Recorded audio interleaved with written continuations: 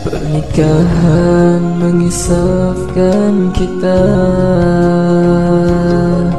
Perlunya iman dan takwa Meniti sabar dan reba Bila masa senang Syukuri nikmat Tuhan.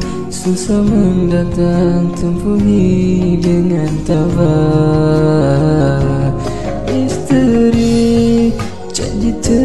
telah dipatri Diijab kabulkan Dan dirahmati. Detik pertemuan Dan pernikahan Yang dihujani Air mata kasih